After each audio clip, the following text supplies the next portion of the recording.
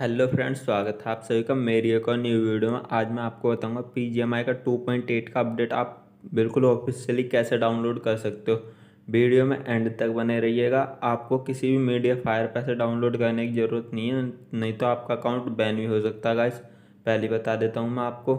आपको अपने पीजीएमआई की आईडी ओपन कर लेनी है। जैसे आप आईडी ओपन करोगे तो आपको सेटिंग वाले पे क्लिक करना है। देखो कुछ इस तरीके से लॉग आउट मारनी है और लॉग आउट डिवाइस नहीं, खाली लॉग आउट मार लेनी है अपनी आईडी जैसे आप आईडी लॉग आउट मारोगे तो आपको रिपेयर का ऑप्शन दिख रहा होगा कोने पर रिपेयर करने के बाद देखो ऊपर वाले ही क्लिक करे रहना है।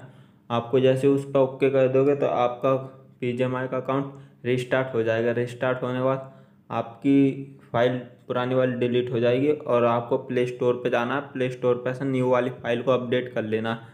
जैसे आप अपडेट कर लोगे तो आपका पी का अकाउंट चल जाएगा और बड़ी इजी तरीके से आप 2.8 के अपडेट में खेल पाओगे।